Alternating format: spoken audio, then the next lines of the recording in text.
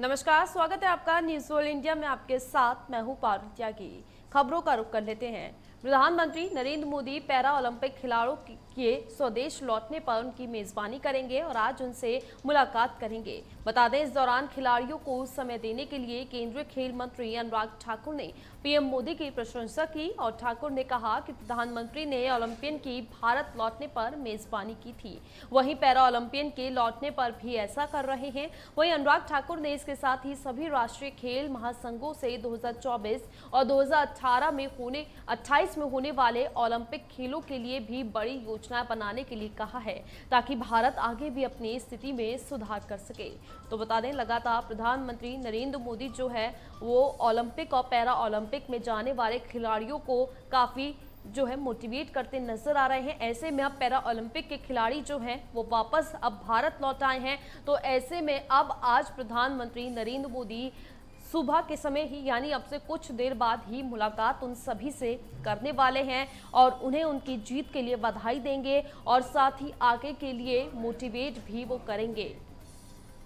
तो बता दें, पीएम मोदी पैरा ओलंपिक खिलाड़ियों की मेजबानी करेंगे और ऐसे में अब से थोड़ी ही देर बाद पीएम मोदी सभी पैरा ओलंपिक खिलाड़ियों से मुलाकात करने वाले हैं। हालाँकि इससे पहले बता दें ओलंपिक के खिलाड़ियों से भी पीएम मोदी ने मुलाकात की थी। उनको बुलाया था अपने आवास पर। एक पार्टी की थी।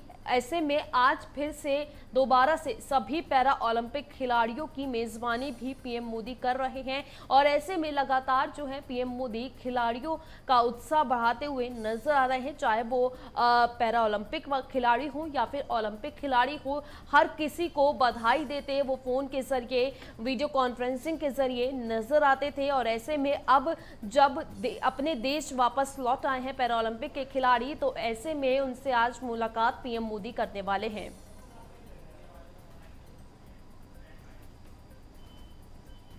चलिए, हमारी ब्यूरो चीफ रूबी सिद्दीकी ज़्यादा जानकारी के साथ हमारे साथ जुड़ चुकी हैं। रूबी, आज पीएम मोदी सभी पैरा ओलंपिक खिलाड़ियों से मुलाकात करने वाले हैं। कितनी देर बाद ये कार्यक्रम होगा? क्या कुछ अपडेट है? पारुल कार्यक्रम की जो समय बताई गई है, वो तकरीबन 10 और 11 के बीच में बताई गई है। थोड़ी देर में कार्यक्रम शुरू हो जाएगा। और इसके साथ ही साथ ये भी कह सकते हैं कि पीएम जो है वो खिलाड़ियों का शुरू से ही सम्मान देखते चले आ रहे हैं। और लगातार ऐसे कई ओलंपिक हो या फिर पुराने जो भी खिलाड़ी हैं उन लोगों को बुला बुला के उन्होंने मुलाकातें करी हैं। और आज भी जो उनका प्रोग्राम है इस तरीके से यहाँ पे जो ऑर्गेनाइज किया गया है उसमें पीएम खुद पहुँचेंगे और खिलाड़ियों को सम्मान देंगे। और बता दूँ कि समय जो निर्धारित किया गया है उसमें तकरीबन 10 से 11 के बीच में सारे खिलाड़ी तो 10 बजे तक ऐसा अंदर पहुँच जाएँगे लेकिन जो प्रधानमंत्री हैं उनका पहुँचने का जो समय है तकरीबन 10 से 11 के बीच के अंदर है। बिल्कुल रूबी और देखिए इससे पहले की बात कर ली जाए जो ओलंपिक के खिलाड़ी थे उनसे भी पीएम मोदी ने मुलाकात की थी। आज भी वो पैरा ओलंपिक के खिलाड़ियों से मुलाकात करने वाले हैं तो ऐसे में उत्साह जो है वो खिलाड़ियों का पीएम मोदी लगातार बढ़ाते हुए नज़र आ रहे हैं। जी बिल्कुल पारुल लगातार पीएम खिलाड़ियों को लेकर खास अपनी खुशी ज़ाहिर करते हैं। क्योंकि तो इससे पहले भी देखा गया है पैरा ओलंपिक की बात करें, ओलंपिक की बात करें तो जो भी खिलाड़ी आते हैं या खेलने जाते हैं, अपने ट्वीट के ज़रिए भी वो उत्साहित करते हैं खिलाड़ियों को क्योंकि भारत का मान बढ़ाते हैं। तो ऐसे में बिल्कुल खिलाड़ी हो या फिर नायक हो या नायिका हो, उन लोगों को उत्साहित करने के लिए, उनके हर्षवर्धन करने के लिए खुद मुलाकात करते हैं और पीठ थपथपाते हैं। कई बार ऐसे प्रोग्राम भी देखे गए हैं जिसमें नरेंद्र मोदी ने खिलाड़ियों को पीठ थपथपाया है कहा है कि गौरव का आप मान बढ़ा रहे हैं और ऐसे में भारत का सम्मान बढ़ा रहे हैं। अपनी जो जीत है उस पर कभी घमंड मत करना। तो समय समय पे राय भी देते रहते हैं कि अगर आप जीत रहे हैं तो इस चीज़ को घमंड में मत तब्दील होने देना। भारत के लिए और अभी आपको खेलना है भारत तरफ़ से अभी और मार्गदर्शन करना है।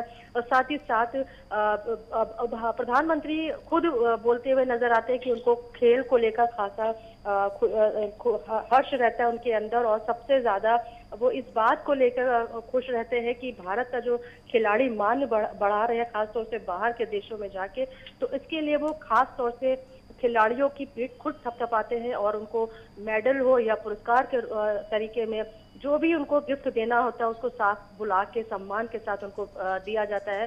खाना बिल्कुल रूबी आज जो ये कार्यक्रम होने वाला है अब से कुछ ही देर बाद तो क्या कुछ और इसमें खास होने वाला है? क्या सिर्फ़ मुलाकात होगी या कुछ और खास कार्यक्रम भी रखा गया है?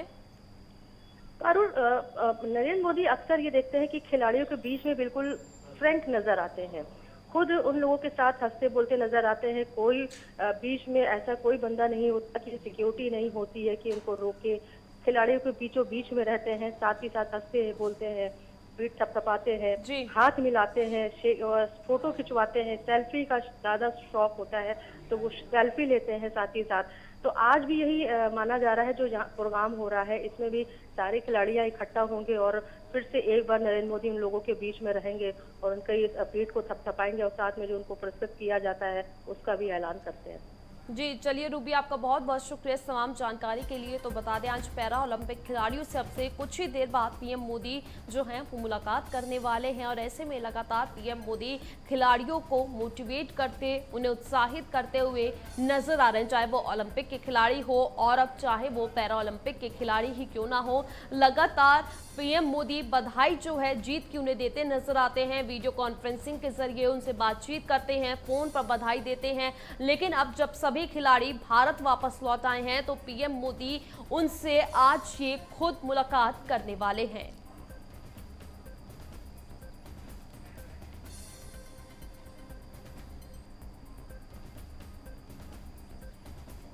उत्तर प्रदेश के उप मुख्यमंत्री केशव प्रसाद मौर्य ने झारखंड विधानसभा में नमाज़ पढ़ने के लिए एक कमा, कमरा आवंटित होने और समाजवादी पार्टी के विधायक इरफान सोलंकी द्वारा उत्तर प्रदेश विधानसभा में भी इसके वास्ते ऐसी ही प्रार्थना कक्ष की मांग करने पर प्रतिक्रिया दी है।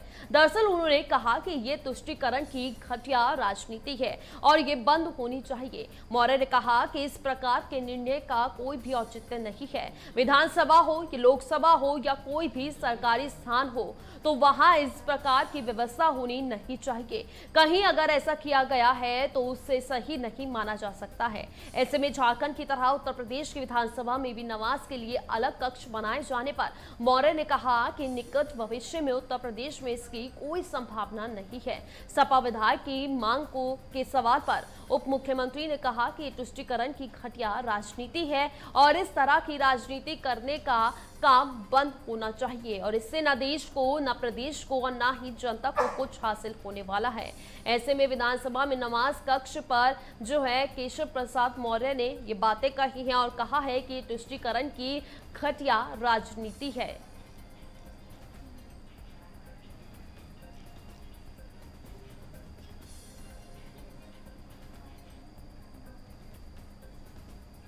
प्रयागराज में भी डेंगू का प्रकोप लगातार बढ़ता जा रहा है। ऐसे में बुधवार को एक एमबीबीएस छात्रा समेत 11 नए संक्रमित मरीजों में डेंगू की पुष्टि हुई है। जी हाँ, जाँच रिपोर्ट के आधार पर सभी का इलाज शुरू कर दिया गया है और ऐसे में ज़िले में अब तक डेंगू के 60 से ज़्यादा मामले सामने आ चुके हैं। तो बता दें, लगातार संगम नगरी में भी डेंगू का कहर जो है, वो बढ़ता हुआ नज़र आ रहा है और अब तक 60 से ज़्यादा मामले सामने आ गए हैं।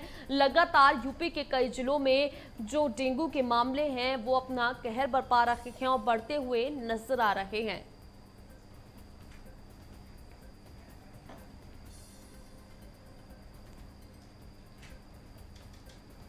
आगरा पुलिस को बड़ी सफलता मिली है। जी हाँ, बता दें कि ड्रग माफिया और शराब माफियाओं की संपत्ति को पुलिस ने कुर्क कर लिया है और इस दौरान कमला नगर थाना क्षेत्र में ड्रग माफियाओं से 6 करोड़ 16 लाख की संपत्ति जब्त की गई है। वहीं पुलिस की ओर से लगातार शराब माफियाओं पर शिकंजा कसते हुए पुलिस को ये सफलता मिली है और आगरा एसएसपी मुनिराज की ओर से ये कार्रवाई की गई है।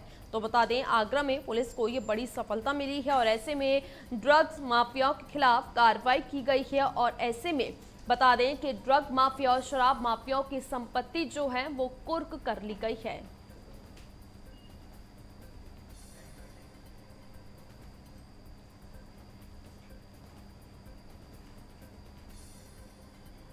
अब खबर आगरा से है, जहाँ निजी हॉस्पिटलों के खिलाफ कार्रवाई की तैयारी की जा रही है। जी हाँ, आपको बता दें कि इसमें डेंगू मरीजों की सूचना छुपाने वाले अस्पताल के खिलाफ कार्रवाई की जाएगी, जिसमें नोटिस के बाद एफआईआर दर्ज होगी। और इस कार्रवाई के लिए की गई 10 डॉक्टरों की टीम जो है वो बनाई गई है और ऐसे में जिसकी जानकारी सीएमओ डॉक्टर अरुण श्रीवास्तव ने दी है। तो बता दें, निजी अस्पतालों पर कार्रवाई जो है आगरा में अब वो की जाएगी। डेंगू मरीजों की सूचना छुपाने का आरोप है, जिस पर ये पूरी कार्रवाई जो है की जाएगी। हालाँकि कार्रवाई करने के लिए डॉक्टरों की टीम जो है वो भी बना दी गई है, जिसके बाद अब सभी जो निजी अस्पताल हैं, उन पर ये कार्रवाई की जाएगी।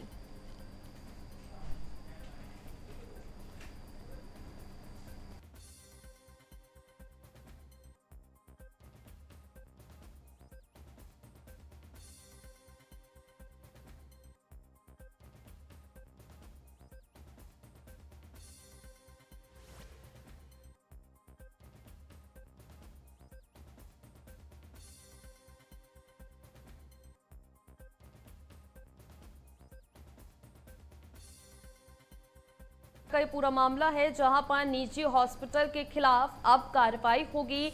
और बता दें कि कार्रवाई की जो वजह है, वो ये है कि डेंगू मरीजों की सूचना छुपाने का आरोप जो है, वो निजी अस्पतालों पर लगा है, जिसको लेकर कार्रवाई की जाएगी। और कार्रवाई करने के लिए डॉक्टरों की टीम जो है, वो भी बना दी गई है। और ऐसे में इसकी जानकारी जो है, वो सीएमओ डॉक्टर अरुण श्रीवास्तव ने दी है। तो लगातार बता दें, यूपी के तमाम ज़िले ऐसे हैं, जहाँ पर ये डेंगू का कहर जो है वो देखने के लिए मिल रहा है। लेकिन ऐसे में आगरा में एक मामला ये निकलकर सामने आया है, जहाँ पर निजी हॉस्पिटलों पर जो है मामले छुपाने का आरोप लगा है और ऐसे में अब इन अस्पतालों पर कार्रवाई भी की जाएगी।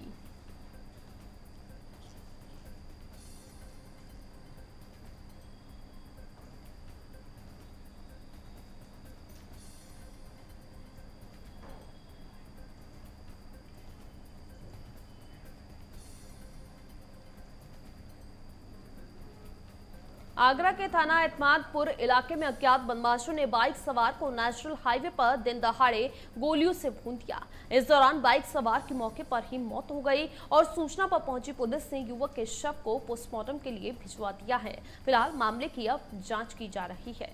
तो आगरा का पूरा मामला है, जहाँ पर आपको बता दें कि बदमाशों ने दिन दहाड़े युवक को गोली मार दी और अब इस पूरे मामले में जो है पुलिस जाँच कर रही है और युवक के शव को पोस्टमार्टम के लिए भेज दिया है। बता दें, लगातार यूपी में अपराध का ग्राफ जो है वो बढ़ता जा रहा है। ऐसे में अब जो है वो दिन दहाड़े बदमाशों ने एक युवक को गोली मारी, जिसके से उसकी मौत हो गई। वहीं अब पुलिस जो है पूरे मामले की छानबीन कर रही है, जाँच कर रही है।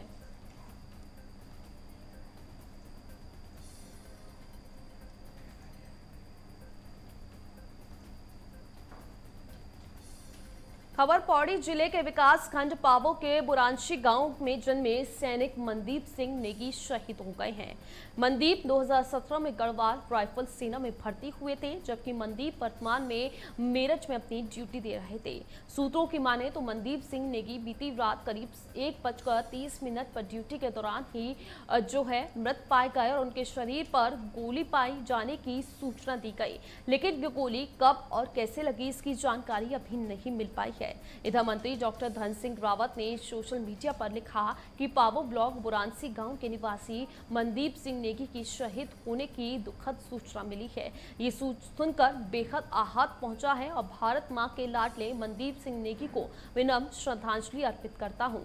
ईश्वर परिवारजनों को ये दुख सहने की शक्ति प्रदान करे। साथ ही आपको बता दें कि अब मनदीप का जो पार्थिव शरीर है, वो उनके गाँव भी पहुँच चुका है और ऐसे में गाँव में जो है, सैलाब उमड़ पड़ा है। हर कोई आखिरी जो है, बार उनको देखना चाहता है, अंतिम दर्शन करना चाहता है और श्रद्धांजलि जो है, उन्हें देना चाहता है। वहीं परिवार की बात करें तो मनदीप के शहीद होने से परिवार का बुरा हाल है रो रो कर।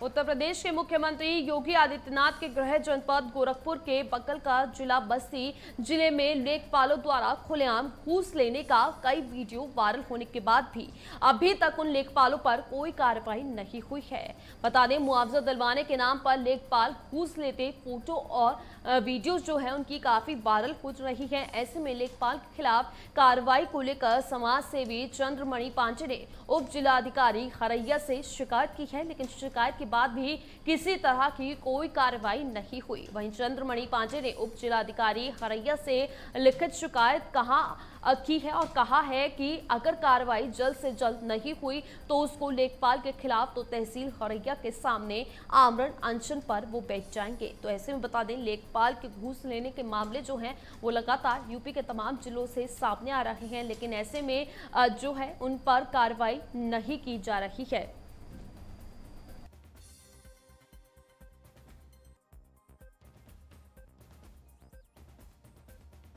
लेखपाल के जो घूस लेने के मामले हैं, वो लगातार सामने आ रहे हैं, लेकिन उसके बाद भी वीडियोस फ़ोटोज़ वायरल होने के बाद भी प्रशासन की तरफ़ से कोई भी कार्रवाई जो है, वो नहीं की जा रही है। ऐसे में अब जो है, वो कार्रवाई करने की बात की जा रही है। आपको बता दें कि लेखपाल के घूस लेते फ़ोटो वीडियोज़ काफ़ी वायरल हो गए हैं और ऐसे में लेखपाल के खिलाफ कार्रवाई को लेकर समाज सेवी चंद्रमणि पांडे ने उप जिलाधिकारी हरैया से शिकायत की है। लेकिन शिकायत के बाद भी किसी तरह की अभी भी कोई कार्रवाई नहीं की गई। यानी कि एक तरफ़ तो देखिए शासन की तरफ़ से कहा जाता है कि यूपी में भ्रष्टाचार जो है, वो नहीं है, लेकिन जो अधिकारी हैं, जो लेखपाल हैं, वो इस तरह से घूस लेने से अभी भी बाज नहीं आ रहे। सरकार जो है, सख्त सख्ती दिखाती है, लेकिन उसके बावजूद भी ये लेखपाल के तमाम वीडियोज़ और फ़ोटोज़ जो है, आए दिन वायरल होते रहते हैं। लेकिन उसके बाद भी उन पर कोई भी कार्रवाई जो है, वो नहीं की जाती, जिसलिए इन लेखपालों को शह मिलती है और इसी शहर पर वो जो है लगातार लोगों से आम जनता को परेशान करते हैं और लगातार उनसे घूस लेते रहते हैं।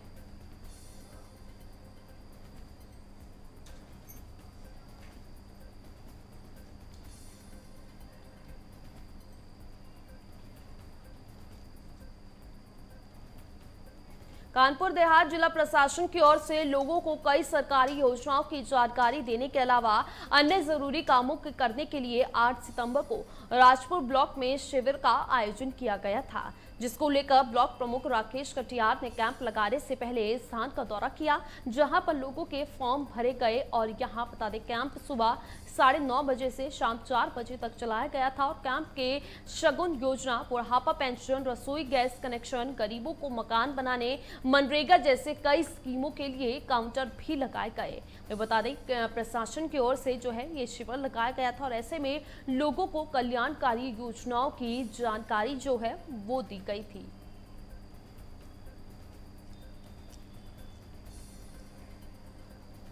शिविर में मेन चीज़ ये रही है कि जो किसानों की समस्याएँ हैं, उसका निराकरण एवं किसान एवं अन्य महिला सहयोगी जो रहती है किसान के साथ, उनका निराकरण की बात कही गई है आज। निराकरण में क्या रहा है? पहले विकलांग बच्चों का देखा गया, जिसमें 30 से 40 बच्चों का फॉर्म भरे गए विकलांग में। ओबीसी का लगभग 40 से 50 फॉर्म भरे गए अल्पसंख्यक के बीस लगभग फॉर्म भरे गए जो सम्मान, किसान सम्मान निधि है, जो माननीय मोदी जी का स्कीम चली जा रही है, उसमें कहीं भी किसी का पैसा कहीं जा रहा है किसी को पैसा नहीं आ रहा, दूसरी किस्त नहीं आ रही, किसी की छठी नहीं आ रही, उस पर निराकरण बहुत बढ़िया हुआ है। आगे भविष्य में भी होता रहेगा, ऐसा उनने आश्वासन दिया है। और नारी सशक्तिकरण पर भी बहुत बड़ा ज़ोर दिया गया है। चलिए, कानपुर से हमारे संवाददाता आशीष हमारे साथ जुड़ चुके हैं। आशीष, कल ये जो है, शिविर लगाया गया था कानपुर में, लोगों को कल्याणकारी योजनाओं की जानकारी दी गई थी और क्या कुछ इस शिविर में किया गया था? आशीष, क्या सुन पा रहे हैं आप मुझे? शायद लगता है आशीष से संपर्क हमारा टूट गया है। तो कानपुर में शिविर लगाया गया था, जहाँ पर लोगों को जो है, कल्याणकारी योजनाओं की जानकारी दी गई थी। और ऐसे में कैंप में शगुन योजना, बुढ़ापा पेंशन, रसोई गैस कनेक्शन, गरीबों को मकान बनाने, मनरेगा जैसे कई स्कीमों के लिए काउंटर जो है, वो लगाए गए थे।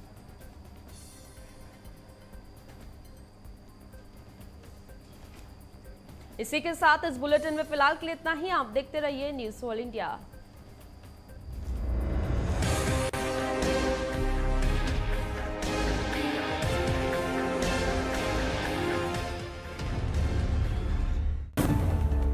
At